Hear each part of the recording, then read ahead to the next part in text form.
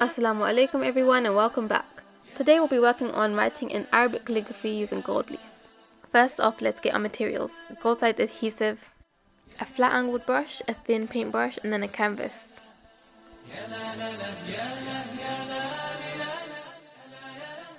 Now let's get started. Begin by roughly measuring out where you want to place your calligraphy on the canvas. For today, I'm opting for a fairly large size, approximately 5 centimeters from each edge. However, feel free to adjust this based on your personal preference.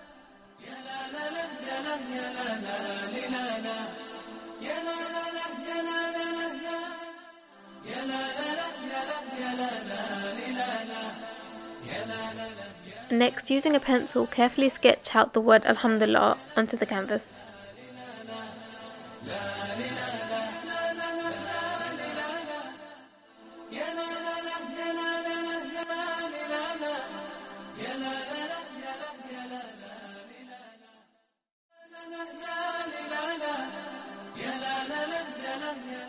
Take your time to make sure it's accurate and don't hesitate to erase any mistakes you make along the way.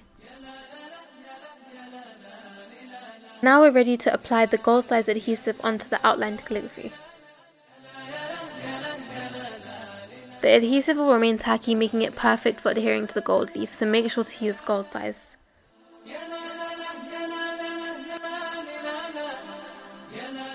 Glue will look white at first, wait at least around 10 minutes or more for it to dry before moving on to the next step.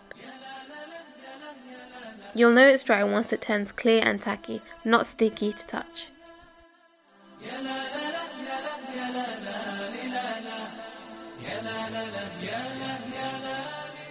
Carefully lay the gold leaf onto the adhesive. Use a wide paintbrush or your fingers to flatten it down and ensure it's securely stuck onto the canvas.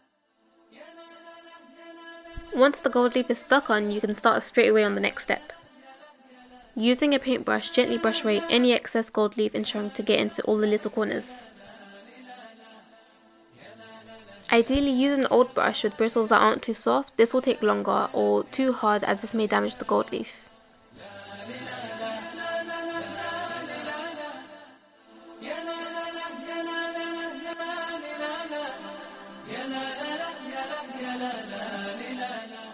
Having a designated gold leaf brush will save you the hassle of always having to clean out the gold leaf from your regular brushes.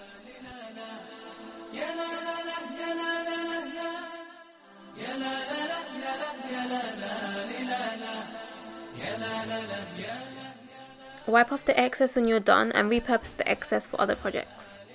As a final step, you can apply varnish to seal the painting and protect both the background and the calligraphy.